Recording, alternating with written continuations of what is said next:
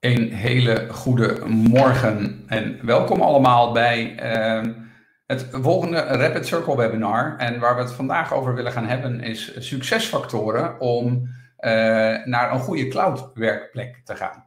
Um, allereerst, ik hoop dat ik goed te zien ben, dat de slides goed te zien zijn en dat ik ook te verstaan ben.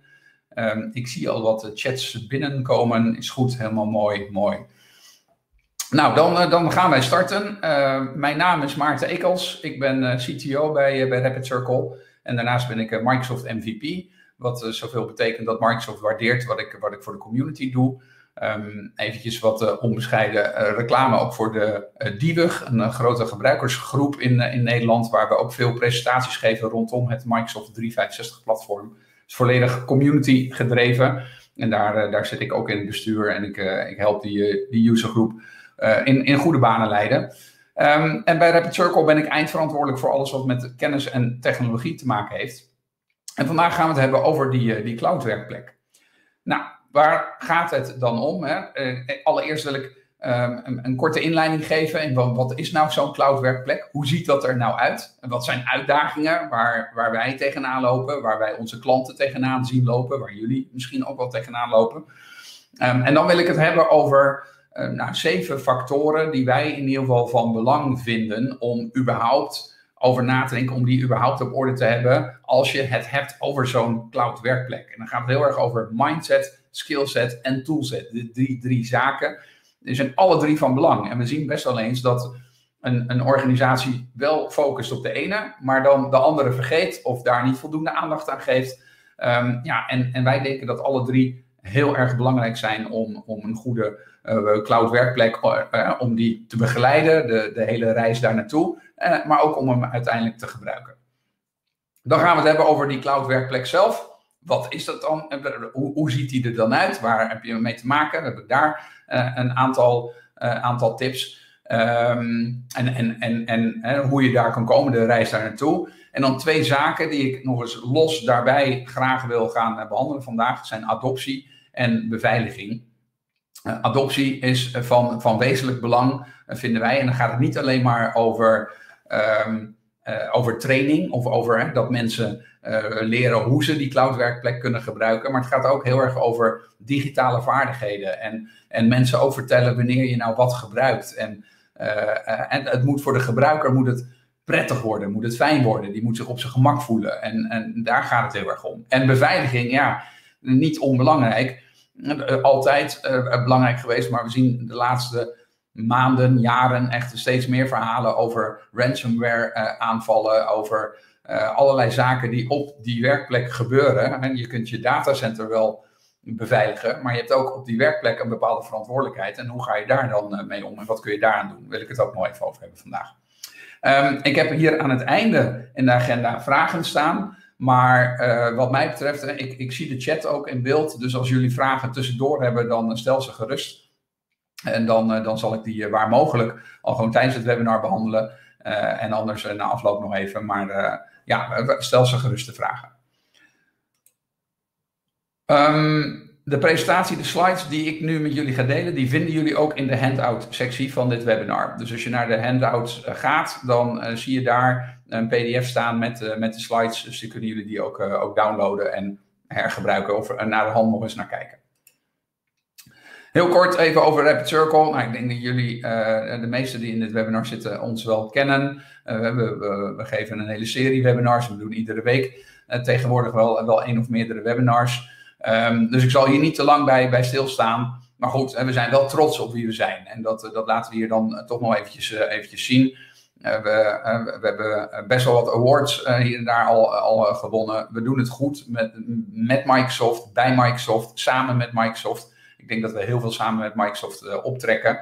En ja, dat we daardoor ook invloed hebben naar Microsoft toe. En uiteraard zij ook naar ons. Maar dat we wel en op onze manier echt proberen om, om Microsoft, de Microsoft Cloud bij onze klanten uit te rollen. En, en jullie te helpen om dat op een zo goed mogelijke manier te gebruiken. En hoe doen we dat dan? Nou, wij helpen uh, onboarding op de Microsoft Cloud. En dat is aan de ene kant is dat natuurlijk het Microsoft 365 platform, waar we heel veel doen. Maar ook aan de Azure kant, aan de datacenter kant, zijn wij heel actief, doen we veel projecten bij, bij, bij heel veel verschillende organisaties. Dus, dus we kunnen ook helpen om om legacy applicaties naar de cloud toe te brengen, om je datacenter te verhuizen naar de cloud ehm, en om daar dan het beheer op uit te voeren uh, en dat soort zaken. Dus en, en die onboarding, dat, dat ja, nog veel organisaties, voor veel organisaties is dat nog steeds een uitdaging, daar kunnen we echt mee helpen. Maar ook die veilig en beheerde cloud werkplek, nou, daar gaan we het vandaag met name over hebben. Um, we helpen jullie heel graag bij uh, vernieuwingen en vooruitgang. He, daar gaan we het ook vandaag echt nog wel eventjes over hebben tegenwoordig dat change management is niet meer zoals vroeger, waarbij je misschien iedere drie jaar een keer een, een, een uitrol deed, een upgrade deed. Ik, ik kwam zelfs organisaties tegen waar dat maar één keer in de zes jaar gebeurde. Die sloegen gewoon een versie van Windows en Office over. En gingen pas één keer in de zes jaar, zes jaar later een keer migreren. Big Bang uh, noemden we dat dan. Ja, dat is er gewoon niet meer bij tegenwoordig. Als je in de cloud zit, dan heb je te maken met, uh, met continue verandering. En uh, ja, daar, uh, uh, daar heb je nog wel mee te, mee te maken.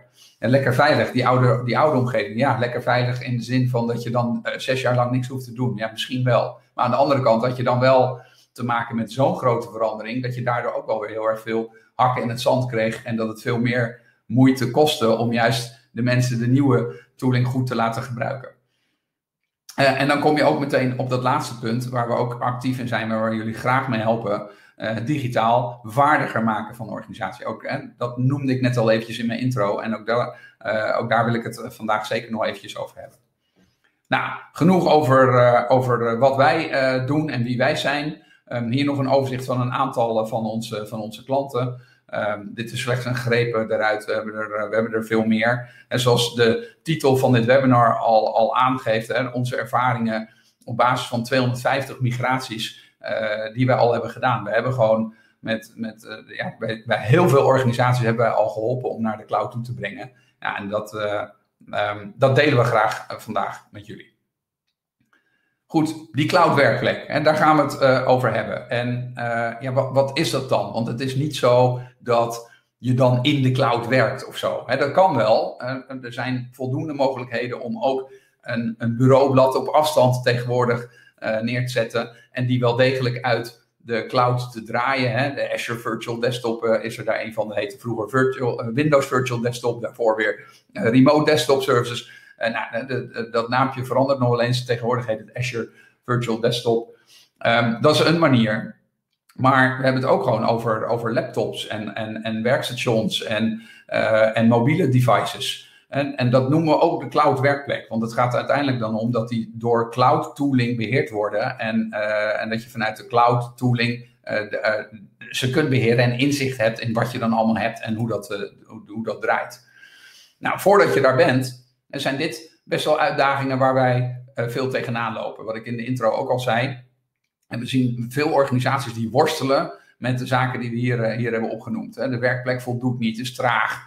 Uh, of mobiel werkt niet optimaal. Veel mensen in het veld die dan toch graag op een mobiele telefoon uh, werken en die kunnen dan weer niet overal bij.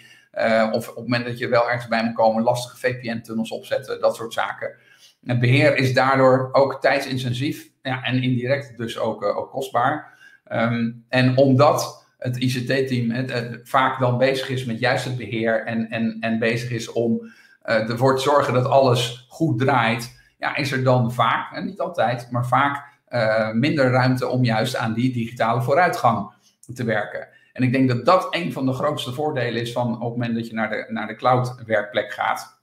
De reis daar naartoe is een, is een lastige, is een uitdaging. Maar op het moment dat je daar zit, dan heb je aan die beheerkant, uh, die is veel minder tijdintensief. Uh, want Microsoft doet een, misschien al een, groot deel van het beheer. Het ijzer aan de onderkant hoef je niet meer zelf, uh, zelf te beheren. En je kunt in, in één keer, en daar gaan we het ook zo dadelijk over hebben, uh, je kunt in één keer veel meer tijd en aandacht besteden aan innovatie. En ik denk dat dat voor heel veel organisaties belangrijk is. Je wil als IT-afdeling, als IT-team, wil je eigenlijk weer echt een, een, een, partner worden voor de business. En, en het vertrouwen van de business binnen door de business te helpen om slimmer en efficiënter hun werk te kunnen doen. En dat moet je echt zoeken in innovatie. En dat is dat zijn hele kleine dingetjes die Microsoft zelf al in de tooling verwerkt. Hè. De, Outlook herkent uh, wanneer er een, uh, een afspraak binnenkomt en dan al voorstelt om hem maar in je agenda te zetten.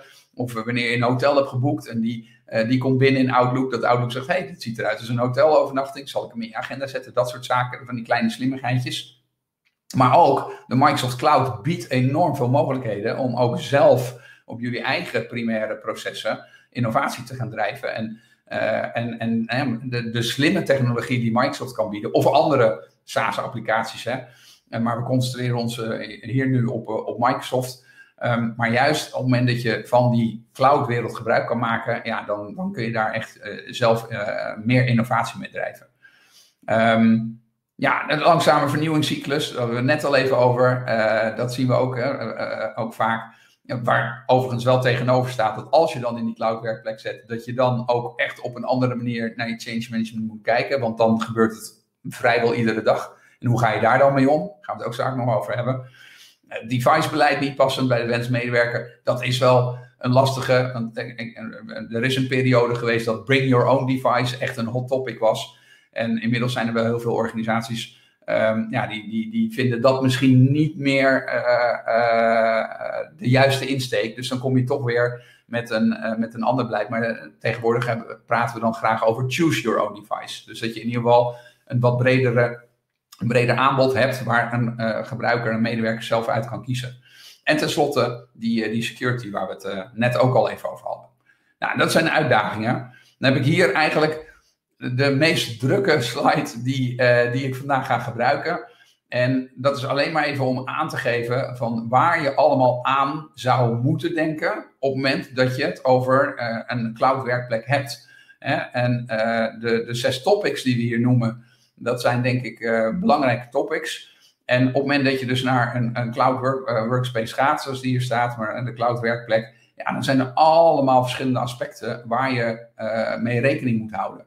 En sommige zijn heel simpel, sommige wil je misschien helemaal niet in je organisatie, maar dan kan je ze in ieder geval afvinken. Je moet er in ieder geval even over nagedacht hebben. Sommige kunnen ook gewoon kan één regeltje zijn of een policy. En sommige die ja, vechten, vergen echt meer aandacht. En dan moet je echt meer tijd en energie insteken om dat uh, goed, goed voor elkaar te krijgen binnen je organisatie. En sommige moet je ook echt wel van tevoren over nadenken voordat je tijdens je reis uh, daar naartoe, of nog erger als je al die cloud werkplek hebt ingericht en je denkt dat je klaar bent en dan nog tegen zaken aanloopt. En dus ik denk dat het sowieso handig is om ja, echt die, die lijst met, uh, met wat je allemaal moet doen, wat er allemaal bij komt kijken, om daar goed over na te denken. En er zijn ook verschillende frameworks voor en daar komen we dadelijk ook op terug als we het over die uh, succesfactoren gaan hebben.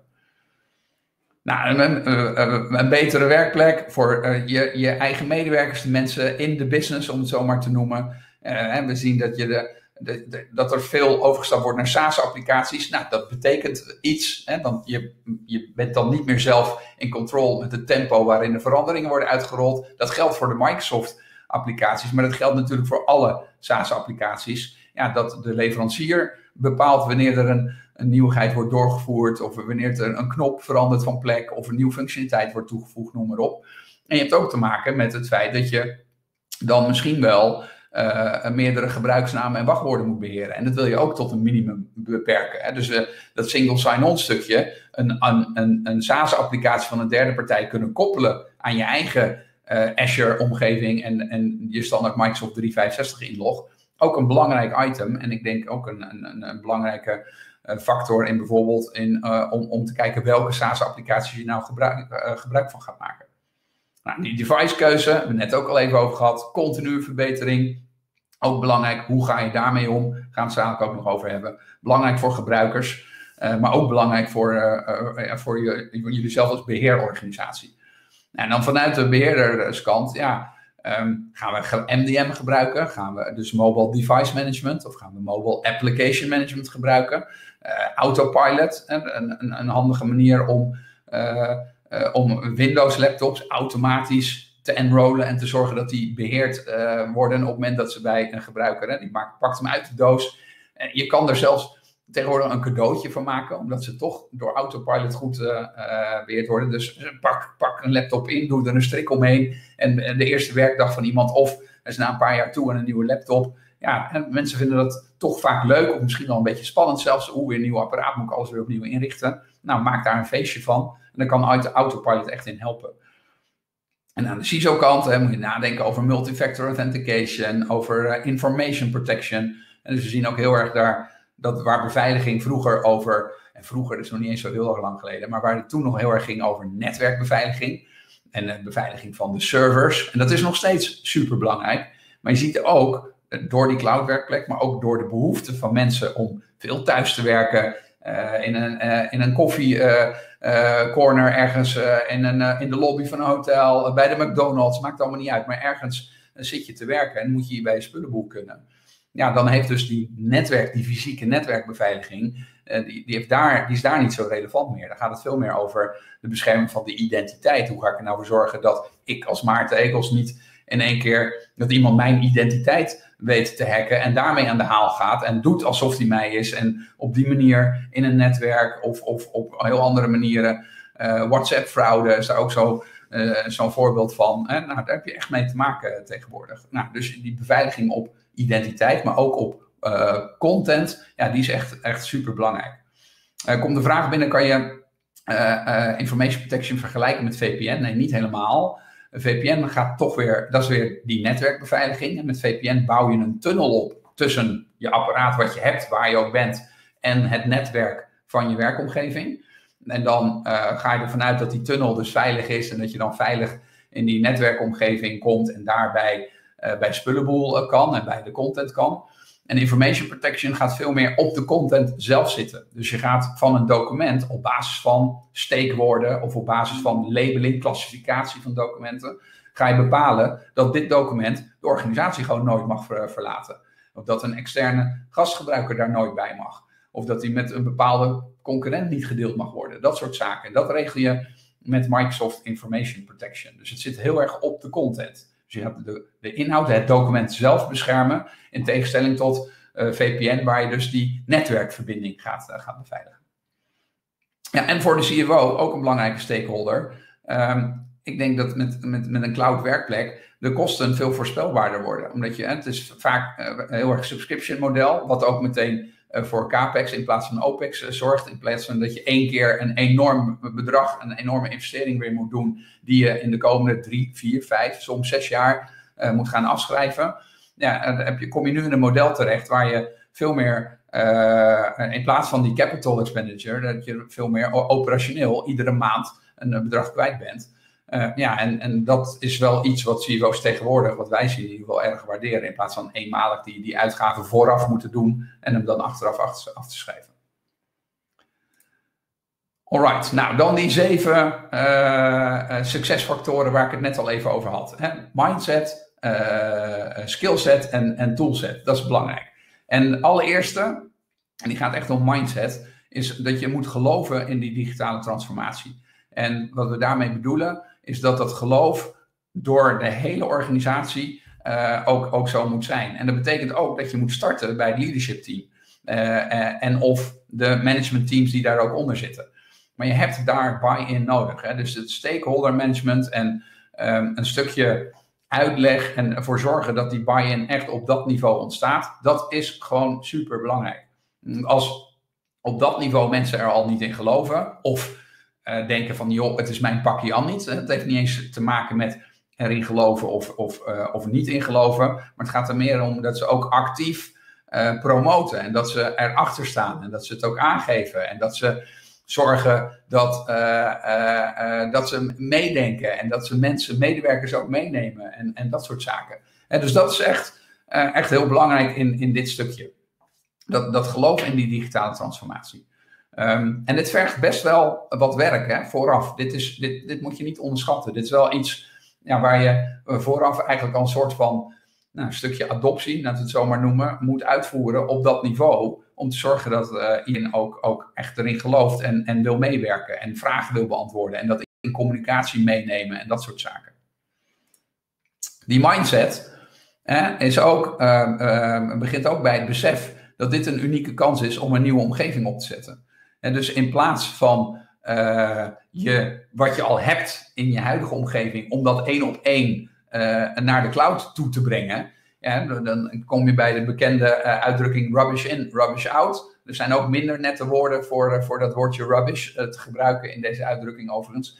Ehm, maar op het moment dat je troep in gaat brengen en dat gaat migreren, één op één, dan krijg je nog steeds troep. Dat is eigenlijk een beetje wat dat betekent. En ik chargeer een beetje, maar uiteindelijk heb je wel te maken dat, met het feit dat dit een nieuwe kans biedt. Dus maak daar ook gebruik van. Op het moment dat je het op een andere manier gaat beheren, ja, was alle regeltjes en alle zaken die we voorheen hadden, alle policies, alles met group policies wat je hebt ingericht, uh, en inderdaad VPN-tunnels en dat soort zaken, heb je dat nog nodig? Of kun je dat ook op een andere manier doen? En kun je het voor een gebruiker weer, weer de, de, werkplek net wat vriendelijker maken en net wat meer toestaan, omdat je weet dat je op een ander niveau er wel voor zorgt dat data de omgeving niet kan verlaten, omdat je zeker weet dat je dat, dat die laptop goed kan beheren, uh, dat die altijd veilig is en dat soort zaken. En dus het is echt een, een, een unieke kans. En dat geldt voor die werkplek. Maar dat geldt ook voor allerlei zaken die je op datacenterniveau naar de cloud toe wil brengen. Op het moment dat je een, een, een, een legacy applicatie hebt, ja, dan kun je die, uh, die, die kun je virtualiseren en as is naar de cloud toe brengen. Ik denk dat heel veel organisaties daarom mee geholpen zijn, want dan heb je, hoef je in ieder geval zelf dat datacenter niet meer te beheren. Dan doet Microsoft of een andere public cloud vendor, die doet dat dan voor je. Um, maar het biedt ook een kans om eens na te denken van, hey, die legacy applicatie, kunnen we daar niet wat anders mee? Is daar misschien inmiddels een nieuwe versie van? Is er een SaaS applicatie die misschien wel iets vergelijkbaars biedt? Um, kunnen we dit zelf moderniseren? Is het een applicatie geweest die wij ooit zelf hebben gebouwd? En biedt dit misschien de kans om een nieuwe applicatie daarvoor te gaan bouwen? Moeten we dan niet bij de business ook eens gaan checken of de applicatie nog wel voldoet. Misschien zijn, ziet het businessprocessen tegenwoordig wel heel anders uit. Uh, en, en, en, en heb je andere requirements. En dus um, dan, dus dat, biedt echt uh, een mogelijkheid daarvoor. Dus uh, als je alles lokaal of hetzelfde in de cloud, dan is het toch geen verschil. Nee, dat, dat klopt. en dus dat, dat is echt. Um, um, dat, dat, dat is precies de uitdaging. Daarom, dus alleen daarom moet je het niet doen. En hoe relateer je cloud werkplek uh, met MDM, MAM en choose your own device lokaal. Um, nou, dat is eigenlijk wat ik, wat ik ook net bedoelde in mijn intro. Die cloud werkplek is niet een werkplek in de cloud. Met de cloud werk, dat kan wel. En dan heb je dus een gevirtualiseerde werkplek. Ook daarvoor is er, uh, zijn er voldoende mogelijkheden in, in de cloud tegenwoordig. Maar wat we meer bedoelen, is dat de werkplek gemanaged wordt door de cloud. Dus in plaats van dat je je eigen servers hebt waar je allerlei applicatiedistributiesystemen hebt draaien, of waar je misschien wel SCOM of SSCM gebruikt om je laptops te beheren en de werkstations te beheren, doe je dat met cloud tooling. En dus je gaat met Intune ga je, je apparaten beheren. Je gaat Microsoft Endpoint Protection ga je daarop uitrollen, zodat je in één cloud portal een overzicht hebt van hoe veilig zijn al mijn apparaten, wat gebeurt daar dan en als er een keer wat gebeurt, kan je daar ook onderzoek op, op uitvoeren en dat soort zaken. Dus het gaat er meer om dat je de tooling in de cloud gebruikt om die werkplek te beheren. En ja, en mobile device management en, en, mobile application management, dat zijn echt twee zaken die echt op mobiele apparaten slaan. Op het moment dat het over en, uh, maar goed, die zijn wel onderdeel van je werkplek, hè, dus daar heb je wel mee te maken. En op het moment dat je het over een laptop hebt, ja, dan, dan is eigenlijk sowieso altijd dat hele device gemanaged. Het verschil tussen MDM en MAM gaat er heel erg om, wil ik het hele mobiele apparaat managen voordat ik iemand toegang geef tot een applicatie? Of vind ik het voldoende dat ik alleen die applicatie kan managen? En er is voor allebei wat te zeggen. Op het moment dat je mensen met privé-telefoons toch toegang wil geven tot, uh, tot mail, bijvoorbeeld Outlook, dan kun je zeggen: ik, je mag best met je privéapparaat bij je mail komen, maar alleen als je Outlook gebruikt. Dus dat mag dan niet met eh, de native mail-applicatie van de iPhone of met een eh, willekeurige applicatie op je Android-telefoon. Dat moet dan met Outlook-app en die app ga ik managen.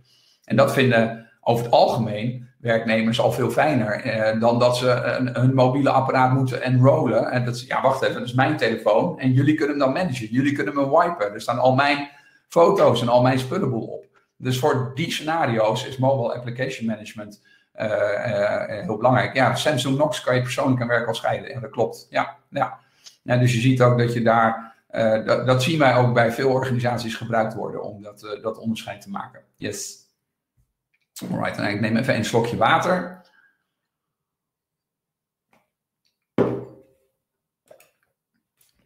Nummer drie, nog steeds met mindset te maken. Um, realiseer je dat na die migratie, na die basisinrichting en na de ingebruikname, dat dan eigenlijk de reis pas begint. En wat bedoel ik daarmee? Is dat uh, heel veel organisaties die concentreren zich juist op die migratie in die basisinrichting. Overigens zie ik basis-basisinrichting staan. Uh, dat is één woordje basis te veel. Um, en dat is natuurlijk ook belangrijk, want je moet, je moet er wel komen. Dus je hebt gewoon te maken met een, een, een reis om met, op die cloud werkplek te komen. Maar, we het ook zadelijk over hebben, dat, dat hoeft niet zo enorm lastig te zijn. En zo'n migratie klinkt altijd lastig en een zwaar traject. maar dat hoeft helemaal niet zo zijn. Dat kun je binnen hele kleine stapjes doen.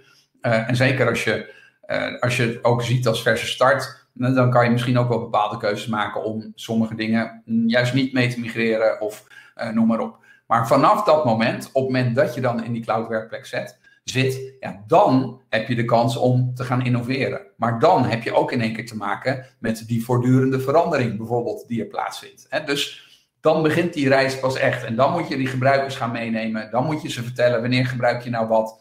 Uh, misschien daarvoor ook al, wel, maar dat hebben we misschien niet altijd even goed gedaan. En uh, uh, ja, dat, dat is denk ik, dat, dat, dat is echt wel belangrijk om mee te nemen. Dat je ook voor daarna, dat zou de reden moeten zijn om uiteindelijk naar die cloud-werkplek te gaan. En niet het traject zelf. Hè. Dat kan nooit een, een doel zijn.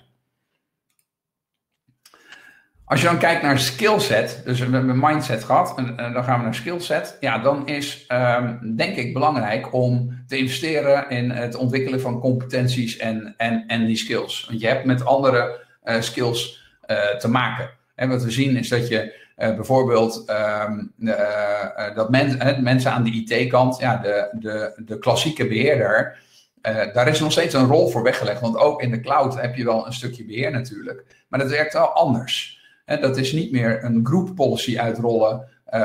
of dat applicatiedistributie waar we het net al over hadden, dat werkt anders. je hoeft niet meer zelf een Exchange upgrade uit te voeren of een SharePoint upgrade uit te voeren. Want dat wordt allemaal geregeld. Uh, maar ja, je moet wel in één keer nadenken over, over governance. hoe gaan we dan om met de spullenboel in de cloud? Um, je moet nadenken over, had ik het net al over, over die beveiliging op inhoudsniveau, documentbeveiliging in plaats van alleen maar netwerkbeveiliging, identiteitsbeveiliging. Je moet nadenken over awareness. Hoe gaan we mensen aware maken van wat, wanneer ze wat moeten gebruiken. En ook over security gebied, dat soort zaken. Nou, dat vergt andere competenties en andere skills. En dat is helemaal niet erg. Hè? Maar je moet er wel rekening mee houden. En dat is ook een traject wat je niet pas moet inzetten op het moment dat je in de cloud al zit. Op het moment dat je die cloud werkplek voor elkaar hebt. Dat is iets waar je vooraf ook over moet nadenken. Van ja, welke skills hebben we dan nodig? Wat willen wij zelf doen? waar gaan we misschien wel een partner eh, bij zoeken? Wat betekent dat voor mijn eh, mensen? En je wordt veel meer een regisseur eh, dan dat je uitvoerend bent. En je gaat veel meer nadenken over, althans dat denk ik dat dat goed is. Je gaat veel meer nadenken over waar willen we naartoe? Wat is nou het doel hiervan? Wat willen we bereiken? Uh, hoe ziet dat er dan uit? En wat hebben we daar dan bij nodig? Nou, dat, dat, is heel belangrijk, want het ziet er gewoon anders uit. Het, zijn, is weer andere tooling en je hebt te maken met op een andere manier naar, uh, naar beheer te kijken, maar ook op een andere manier naar je gebruikers te kijken. Nou, deze noemde ik net al even. Hier staat hij dus ook van uitvoerend naar regie. Hè? Dus uh, behalve dat die, uh, die, die skillset uh, anders wordt. Overigens, die competenties in die skillset, en dat vergeet ik helemaal te noemen. Ik heb het, net had ik het heel erg over aan de beheerorganisatiekant. Maar die zit natuurlijk ook aan de gebruikerskant. Hè? Op het moment dat je de cloud-werkplek volledig omarmt, Microsoft 365 volledig omarmt. Ja, dan is Teams, hè, dat is, we natuurlijk een enorme vlucht zien nemen de afgelopen anderhalf jaar. Want helaas, zo lang hebben we al te maken met, uh, met COVID-19 inmiddels. Ehm, en dat was twee jaar geleden, had Microsoft ongeveer 8 miljoen dagelijkse gebruikers op Microsoft Teams zitten. Ehm, en inmiddels is dat meer dan 200 miljoen. Ik geloof dat het laatste getal 240 miljoen dagelijkse gebruikers op Microsoft Teams hebben zitten. Dus het heeft een enorme vlucht genomen.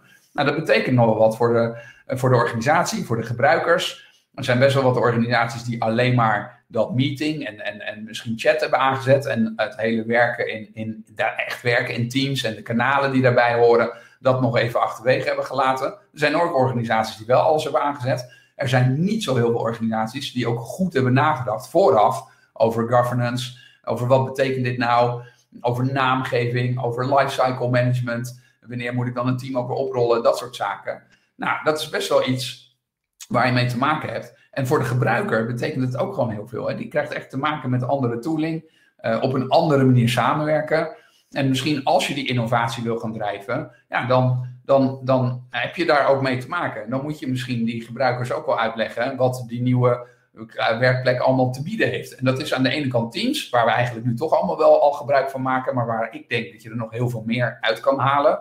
Als je dat goed, uh, goed brengt bij, uh, bij de gebruikersorganisatie. Maar we hebben nog heel veel andere tool, uh, tooling waar je ook gebruik van kan maken. planner, maar ook zelf procesjes in elkaar klikken, zelf laten ondersteunen via Power Automate. Um, we hadden vroeger in, in, in SharePoint al dat mensen zelf dingen gingen klussen. Daarvoor gebeurde dat misschien wel in Excel en Word met macro's of in Access databases die werden gebouwd. Nou, daar, ik denk dat dat, dat, wat we noemen citizen development, dat is, dat is altijd geweest. Maar het is altijd best wel een beetje buiten het zicht van IT geweest. Soms ook tot frustratie van, van IT-afdelingen en beheerders. Want als het dan een keer stuk ging, dan kwamen ze in één keer wel bij, uh, bij die IT-beheerder van ja, uh, mijn applicatie, mijn Access database is stuk, maar ik heb hem wel nodig. Help alsjeblieft. Ja, terwijl die beheerder denkt van ja, maar ik weet helemaal niet hoe dit in elkaar steekt en ik heb dit nooit gebouwd en ik heb dit überhaupt nog nooit gezien. En dat, dat stukje dat, dat de gebruikersorganisatie, dat die zelf uh, dingen gaan bouwen en zelf een eigen proces slimmer en efficiënter willen maken. Nou, daar biedt die cloud-werkplek ook meer tooling voor, waar je dan wel vanuit het beheerorganisatie ook gewoon inzicht in hebt en kan zien wat er gebeurt. En dan zelf ook kan bedenken hoe willen we daar dan mee omgaan. Omdat je die portal hebt, omdat het in de cloud draait en je het overzicht kan creëren van wat er allemaal is. En zelfs daar governance op kan toepassen. Wat gebruikers wel kunnen, wat ze niet kunnen. Uh, wat dat betekent, of ze uh, uh, daar training voor moeten volgen voordat ze pas iets mogen gebruiken. allemaal dat soort zaken. En dus ook die skillset zit ook heel erg aan die gebruikerskant. Nou, en dan die beheerorganisatie hebben we het eigenlijk ook voldoende over gehad. Ehm, maar je krijgt andere rollen. Op een andere manier ga je naar processen kijken. En heel erg van uitvoerend naar regie. En dat is denk ik een, een, een kans, hè? een opportunity voor organisaties om ja, wat ik zei, uh, uh, IT, om die juist ook leukere dingen te laten doen. Uh, weer, weer echt leuk te worden voor een gebruiker, omdat die meer dingen kan doen. Um, ja, dus dat, dat, maakt daar gebruik van. En dan gaan we naar toolset. Um, hè, dus we hebben mindset gehad, we hebben skillset gehad en dan toolset. Ja, op het moment dat je naar die, migratie of die, die reis eigenlijk naar de cloud gaat maken, naar de cloud werkplek, ja, probeer te kiezen voor een bewezen uh, uh, migratiemethodologie en, uh, en een, set van, van, van tools. Hè. Um, Microsoft heeft daar zelf behoorlijk over nagedacht. Ze hebben aan de kant van, hè, de, op het moment dat je de reis naar Azure wil maken, dan hebben ze het Cloud Adoption Framework. En, en ook aan de, aan de collaboration kant, Microsoft 365 kant, hebben ze iets wat Mokka, wat ze Mokka noemen, MOCA. Dat is ook de Modern Cloud Architecture. Uh, modern uh, Collaboration Architecture, sorry moet ik zeggen. En dat heeft heel erg te maken met hoe je die gebruiker kan helpen om, om op een optimale manier samen te werken met, met andere collega's, met mensen buiten de organisatie. En dus er zijn frameworks voor, er zijn methodologieën voor. en je hoeft niet zelf het wiel uit te vinden. Nee, je kan gebruik maken van, van een partner, zoals een Rapid Circle uiteraard. Uh, uh, wij maken ook gebruik van die methodologieën en wij hebben daar weer onze eigen ervaring in, uh, in gestopt en, en, de best practices die wij daarbij al hebben. Maar zelfs als je die niet hebt, ja, dan kun je gewoon naar, als je gaat zoeken naar Cloud Adoption Framework of het Microsoft Collaboration Architecture, ja, dan zie je gewoon dat Microsoft daar ook tegenwoordig best wel goed over heeft nagedacht en echt wel probeert om organisaties te helpen en, en te begeleiden in hun reis naar die moderne werkplek toe. En dan als laatste, heb ik het al een paar keer over gehad. Die doorlopende vernieuwing. Dat is echt wel iets waar je vooraf goed over moet nadenken en waar je dus mee te maken gaat krijgen. En dat geldt voor Microsoft, en daar hebben we het nu hier uh, ook over, maar dat geldt eigenlijk voor iedere SaaS-applicatie. Op het moment dat je applicaties gaat gebruiken die in een browser draaien uh, en niet meer op je eigen servers, dan ben jij niet meer verantwoordelijk voor wanneer er een update uitgevoerd wordt of wanneer er iets veranderd wordt aan die applicatie. Nee, de SaaS-leverancier die bepaalt dat tempo. En dat vergt echt een andere manier uh, van daarmee omgaan. En ik denk dat, um, dat het ook een kans biedt. Hè? Want aan de ene kant heb je niet meer die Big Bang waar we het net over hadden, van één keer in de drie of zelfs één keer in de zes jaar. Uh, maar het zijn voortdurend bewegingjes en, en voortdurend kleinere zaken. Dus je, het, het, je hoeft niet meer in één keer een enorme verandering aan te kondigen. natuurlijk de eerste keer misschien wel, hè, afhankelijk van hoe nu nog je, de, de werkplek eruit ziet. Want misschien draai je al Windows 10 en gaat het alleen maar op de manier waarop je dan Windows 10 managt. En misschien zit je al, maak je al veel gebruik in Microsoft 365, uh, maar ga je alleen daar wat aan toevoegen. Nou, allemaal, uh, allemaal zaken die, die bepalen hoe groot die verandering is. Maar als je dan eenmaal in die moderne werkplek, in die cloud werkplek zit, ja, dan, dan moet je wel rekening mee houden dat die continue verandering, doorlopende verandering en doorlopende vernieuwing, dat die aanwezig is. En aan de ene kant uh, gaan mensen daar misschien echt wel wat van vinden. Uh, want uh, mens is in de basis niet blij met verandering. Dat is nou eenmaal hoe wij met z'n allen in elkaar steken. Aan de andere kant, we zijn het inmiddels ook al een klein beetje gewend. Hè, want allerlei consumentenapplicaties die veranderen ook continu. En omdat het iedere keer maar kleine stapjes zijn, um, is het ook gemakkelijker uit te leggen. En is het ook een veel minder grote verandering. En sommige dingen hoef je niet eens uit te leggen, want het is misschien alleen maar een knop die van plek verandert. Maar soms wordt er wel degelijk echt een stukje functionaliteit toegevoegd. Of ja, heel soms, en dat vergt dan wel net wat meer, komt er een hele applicatie bij. Hè? Microsoft Teams is natuurlijk ooit een keer erbij gekomen. Daarvoor hadden we eigenlijk alleen maar e-mail in Outlook en hadden we Skype om uh, met elkaar te chatten. Nou, toen kwam Teams. Dat was echt wel een nieuwe applicatie. En nog steeds denk ik dat heel veel organisaties um, meer effort zouden kunnen steken in uitleggen hoe je ook op een andere manier met elkaar kunt samenwerken door gebruik te maken van Microsoft Teams. Dus dat is echt wel, en daar, daar heb je echt wel mee te maken. Het goede nieuws is dat je hier ook juist wel weer de gebruikers bij kan betrekken.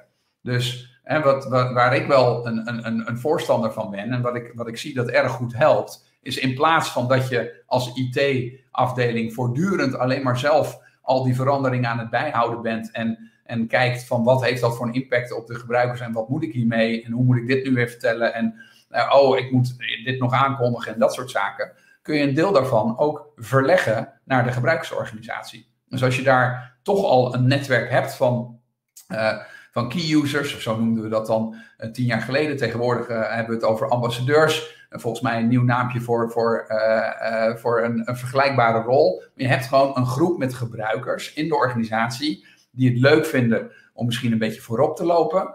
Die het leuk vinden om af en toe ook eens een keer uitleg te kunnen geven aan, aan, aan collega's. Um, en maak daar gebruik van. Als je die groep toch hebt. Kijk, aan de ene kant gaan ze jouw werk uit handen nemen. Nou, dan moet je ze er ook iets voor teruggeven. En dat kan dus bijvoorbeeld zijn dat zij eerder toegang krijgen tot vernieuwingen, tot updates, tot, uh, uh, tot een, een, nieuwe app die uitgerold gaat eh, worden, of die aangekondigd wordt door Microsoft. Zij krijgen er eerder toegang toe. En je vraagt dan hun van ja, wat betekent dit voor ons als organisatie? Moeten wij hier wat mee? Is dit van belang voor ons? En allemaal dat soort zaken. Dus daar heb je echt wel, uh, uh, daar kun je gebruik van maken. En ik denk dat dat heel waardevol is om daar ook gebruik van te maken. Omdat je daarmee uh, beheer weer een stukje ontlast. En je eigenlijk ook gelijk extra buy-in vanuit de business creëert. en die groep met ambassadeurs koestert en, en, ja, en, en, en iets geeft wat, wat, wat, wat ze ook weer een stukje laat voorlopen op, op collega's. Dat kan heel goed werken. Daar hebben we zelf heel veel goede ervaringen mee. Um, komt nog wat binnen. Het berichtencentrum van Microsoft zou makkelijker zijn om die aan uitgebreid Ja, ja, ja. Ja, aan de ene kant wel. Aan de andere kant, um, kijk, ik denk dat Microsoft ook wel uh, te veel berichten tegenwoordig als heel belangrijk bestempelt. Soms dan zijn ook berichten helemaal niet uh, super belangrijk.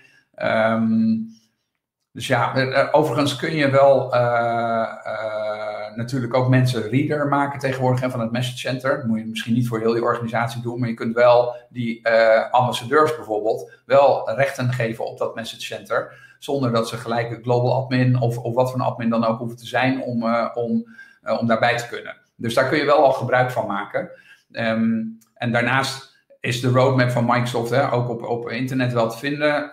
Minder uitgebreid dan in het Message Center. Ik denk dat het Message Center wel een goede bron is, maar om dat nou aan alle gebruikers echt uh, daar toegang toe te geven, daar is dan, dan moet Microsoft het ook op een andere manier gaan omschrijven. Het wordt vaak nog best wel een beetje technisch daar neergezet.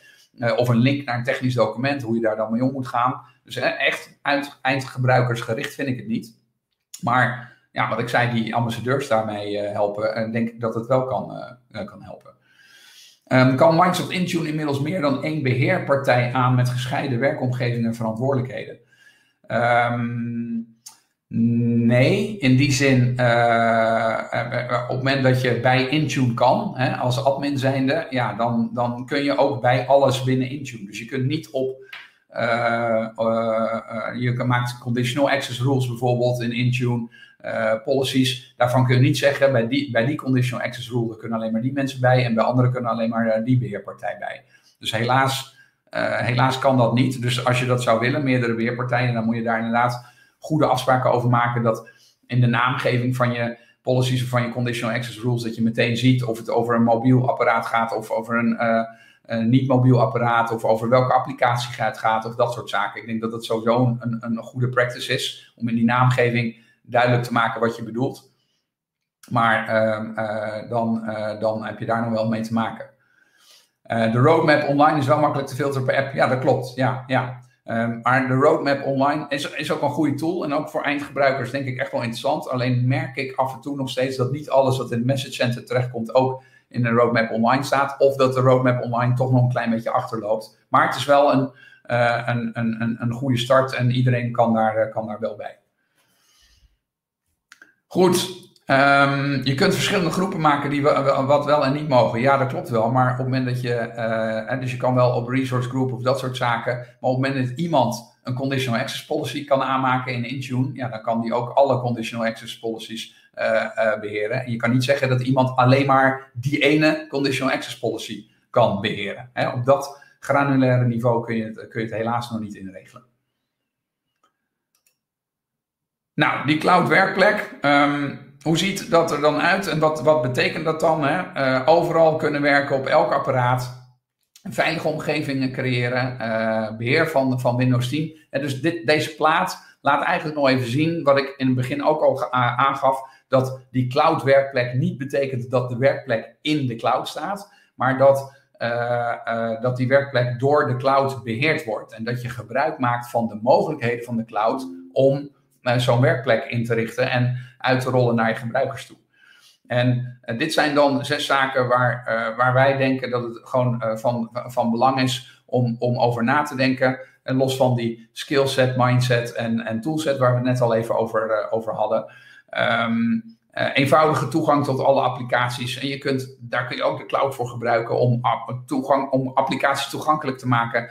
Weer te koppelen aan die uh, Azure AD inlog die je toch al hebt als gebruiker. Sommige applicaties ondersteunen dat uh, uit zichzelf al, hè, de single sign-on. Maar er zijn ook applicaties waar je misschien met een gedeelde inlog werkt en je niet iedereen die gedeelde inlog wil geven. En ook daar kan je dan weer gebruik van maken dat je die gedeelde inlog centraal opslaat, aan die applicatie koppelt en dan die applicatie uh, deelt met bepaalde gebruikers. En die kunnen dan met een, met een Microsoft 365 account of Azure AD account is dat, die kunnen inloggen, die kunnen op die applicatie. En op het moment dat ze van rol veranderen intern of uit dienst gaan, dan uh, wordt hun de toegang tot die applicatie ontnomen. Maar dan hoef je niet meteen het wachtwoord te resetten van het gedeelde account. Want daar, zijn ze nooit, uh, daar hebben ze nooit toegang toe gehad. Want dat heb je in de configuratie van die applicatie meegenomen.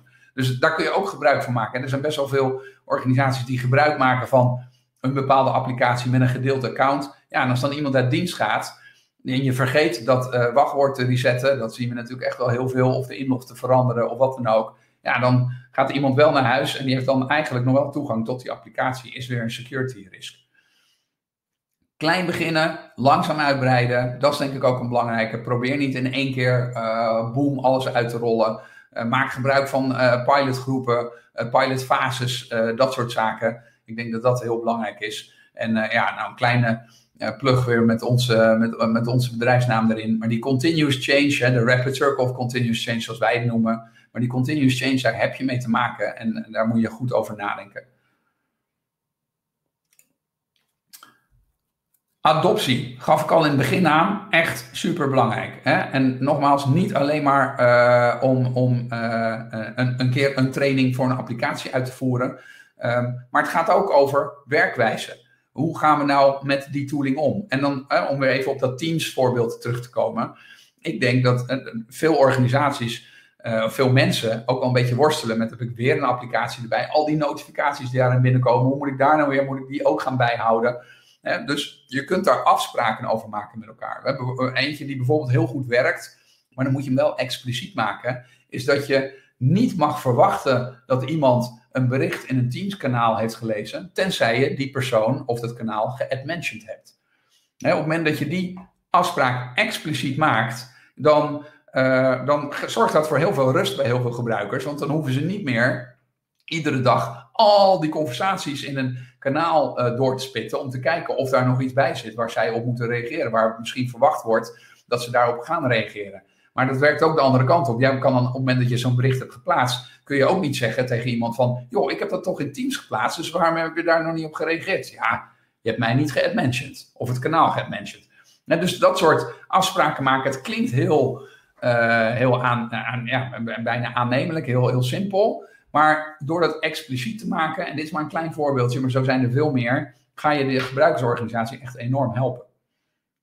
Um, leerplan maken. Wij hebben heel veel goede ervaringen met persona's. Um, want je hebt niet een, een one size fits all uh, in geen enkele organisatie. Je hebt gewoon te maken met verschillende soorten mensen binnen je organisatie. Nou, die moet je er ook op verschillende manieren uh, moet je die benaderen, moet je die helpen. Sommige gebruikersgroepen vinden online training fantastisch, anderen die willen het zelf lezen, weer anderen vinden gewoon een videootje of een, bijvoorbeeld een wekelijkse Ask Me Anything sessie of iets dergelijks vinden ze fantastisch. Maar en dan moet je op een andere manier moet je daarmee omgaan. Um, en ja, dat, dat, door met persona's te werken, en dan moet je ook weer niet 10 of 12 persona's neerzetten, want dan wordt het ook weer te veel. Uh, maar het helpt wel door op die manier tegen je organisatie aan te kijken. En nummertje drie, heel belangrijk, meten is weten. Nog zo'n heerlijke dooddoener, maar het is wel zo. Op het moment dat je met je adoptie aan de gang gaat, moet je ook meten wat, uh, uh, wat mensen ervan vinden. Dus het kan zijn door een enquête uit te sturen met één of twee weet ik veel, vijf vragen over wat vind je er nu van. Maar je hebt ook aan de achterkant in uh, Microsoft 365 Portal ook allerlei statistieken zitten, waar je ook gebruik van kan maken.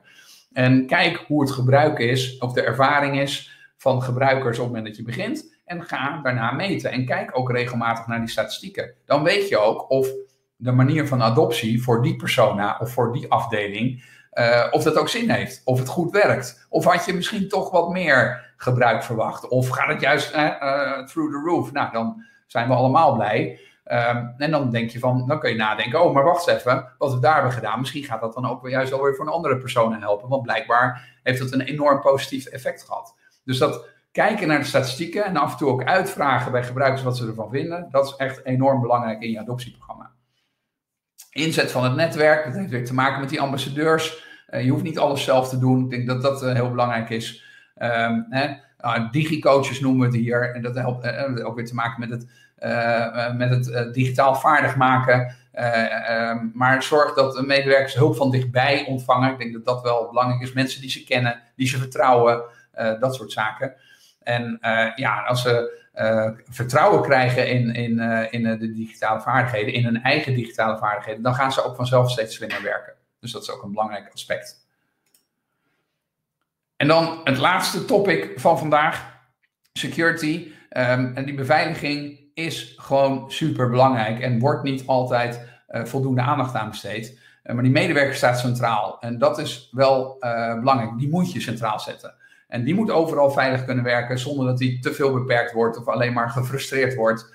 Um, dus dat is uh, enorm belangrijk. Maar nummertje twee ook. Ik denk dat je nooit alles helemaal dicht kan timmeren. Je kan het zoveel mogelijk dicht timmeren, maar als een gebruiker in een phishing mail op een, uh, uh, op een linkje klikt en toch um, gegevens of gebruikersnaam, wachtwoord afgeeft, en als je dan MFA hebt, je, dan, ja, dan heb je dat voor 99% dichtgetimmerd. Maar die hacker die gaat toch die gebruikersnaam en wachtwoord invullen. Die gebruiker krijgt toch een prompt op de telefoon. Die denkt van, oh, nou, dat zal weer ergens wel zijn. Klik toch op oké en die hacker is binnen.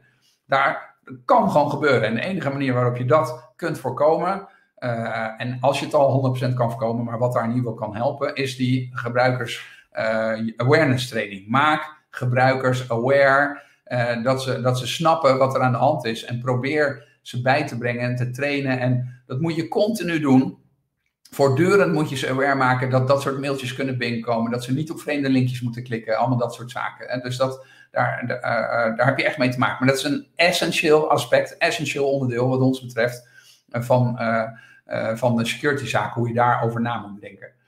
Het is dus meer dan alleen beschermen tegen cyberaanvallen.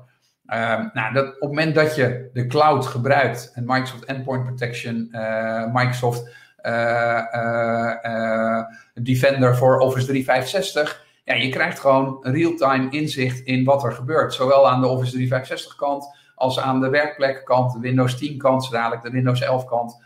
Um, en dus daar kun je dan ook meteen op inspringen als je dat goed monitort.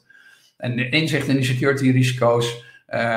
Microsoft geeft in die portalen ook aan wat zij zien. Niet alleen bij jullie als organisatie, maar Microsoft breed. Ze, en dat is natuurlijk het voordeel van Microsoft. Ze hebben zoveel organisaties inmiddels die op Microsoft 365 zitten of in Azure zitten. Dus Microsoft ziet welke attacks er, uh, welke aanvallen er op dat moment actief zijn. En dat vertellen ze ook. Dus je kunt in een security portal kun je ook zien welke uh, welke threads uh, er, er, actief zijn op dat moment en wat je daartegen kunt doen. En je kunt ook scannen. Is dat bij jullie dan ook het geval? Nou, er wordt best wel veel mogelijkheden worden daarvoor geboden, maar dan moet je er wel mee aan de slag, moet je er wel iets mee doen. Of het uitbesteden aan een partij die dat dan voor je doet. En zodat je niet zelf de resources moet, uh, hoeft te hebben die continu zitten te monitoren en daar actie op ondernemen.